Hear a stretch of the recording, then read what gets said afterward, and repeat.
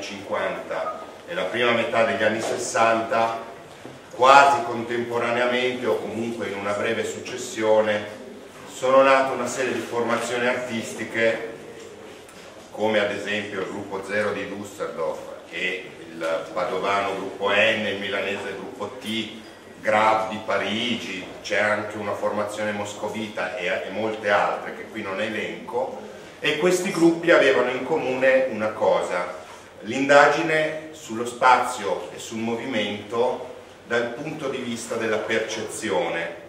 Era una cosa straordinaria il fatto che contemporaneamente in diverse zone geografiche dei gruppi in qualche modo tagliavano i ponti con il proprio background culturale per fare un'indagine che costituiva una sorta di linguaggio internazionale e il motivo di questa internazionalità di linguaggio era perché il problema che andavano ad affrontare, cioè il rapporto tra l'opera e la percezione, quindi tra opera e individuo, era qualcosa che traeva ispirazione dalle ricerche scientifiche coeve e in particolare alcune ricerche nell'ambito della fisica subatomica, cioè della fisica quantistica.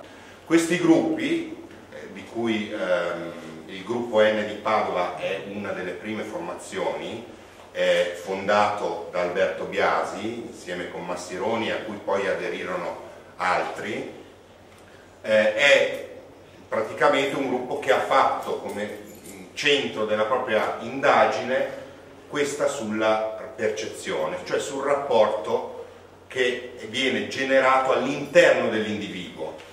La ricerca che fece il gruppo N, per un lasso di tempo sicuramente di gran lunga inferiore a quella che è la ricerca invece da solista di Alberto Biasi, che corre lungo un cinquantennio, è una ricerca in cui ehm, erano molto importanti sia le, dire, gli studi scientifici sia la psicologia della Gestalt che indagava il rapporto tra forma e percezione.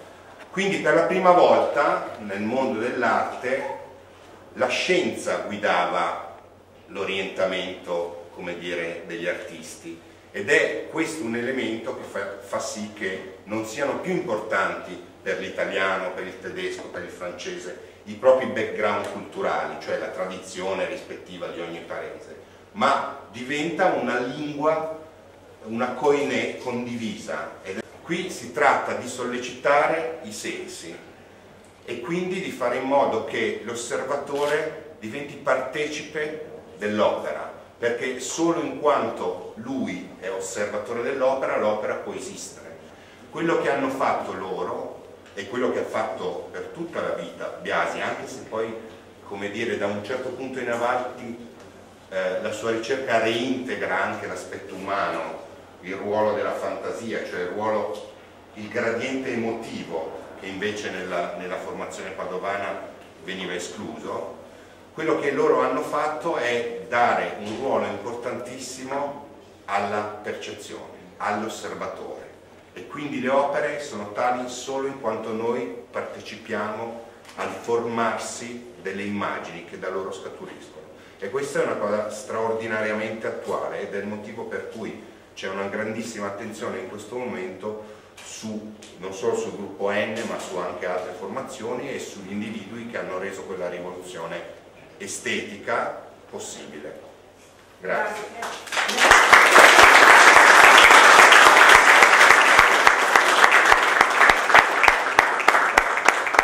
Ringrazio ovviamente la Emilia Colossi per aver organizzato questa mostra che fra l'altro, vi dico subito, mi sorprende moltissimo e anche mi ha messo un momentino in, in così, un certo, un certo quasi, quasi incapacità di capire perché ci sono opere di periodi anche molto lontani fra di loro qui dentro. Per esempio, non so, questa ricerca qui adesso che ho qui davanti, sembrerà strano, ma quest'opera qui dovrebbe essere fatta 69, 69.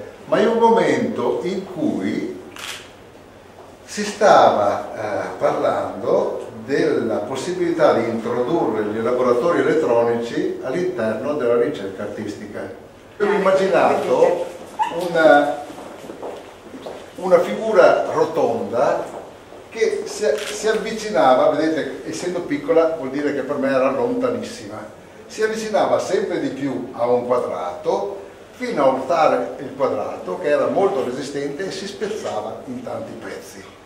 Ora, questa eh, cosa che io avevo immaginato che qui c'è l'elaborazione molto limitata, diciamo, io avevo pensato di realizzarla con eh, il laboratorio elettronico e arrivare alla definizione di un programma.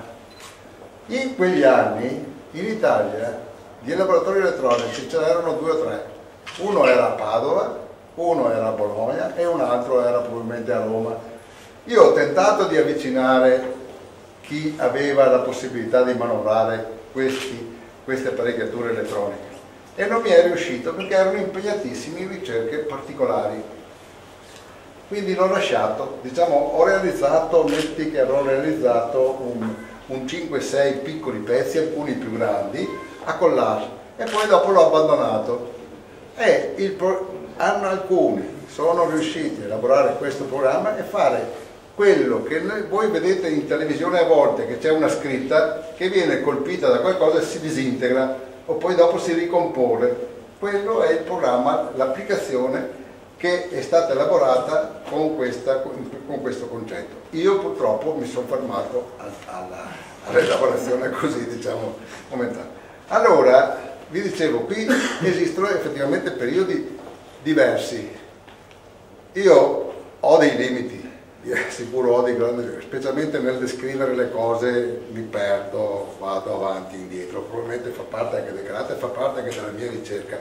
Per cui succede che in un determinato periodo mi sono interessato della, del movimento, altri invece eh, de, del, del movimento diciamo, reale, altri momenti invece del movimento virtuale.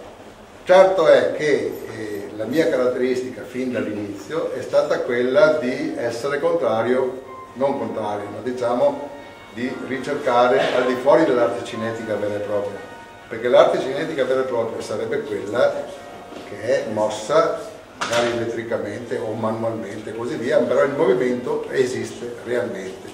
Invece nel mio caso il movimento è qualcosa che è legato alla presenza vostra, tant'è che nel momento in cui l'opera viene fotografata è una qualunque immagine statica, immobile.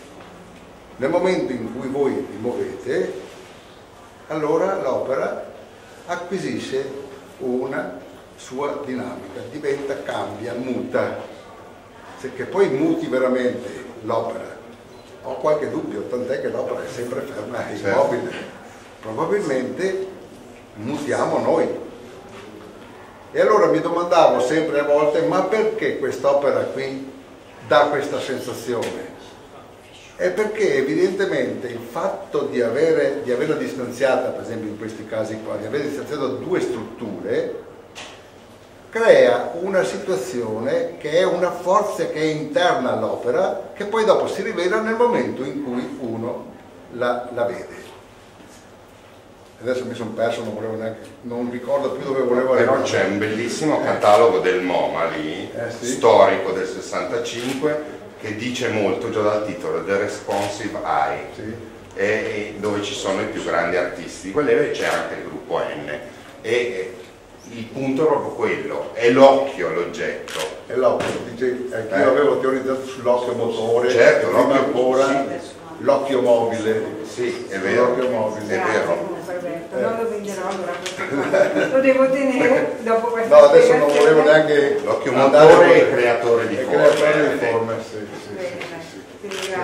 Comunque poi dopo avete visto che qui ci sono anche altre situazioni dove questa eh, diciamo, forza interna è data dalla torsione della, della lamella, cioè una superficie tagliata, ritagliata eh, ricordando ovviamente partendo da Fontana, perché Fontana è quello che mi ha dato l'idea di tagliare la tela e, e, nel mio caso l'ho tagliata del tutto, l'ho distrutta del tutto, poi dopo la, la ricompongo eh, con determinate, con, secondo una determinata struttura. Però mi interessa farvi vedere una cosa e dopo smetto.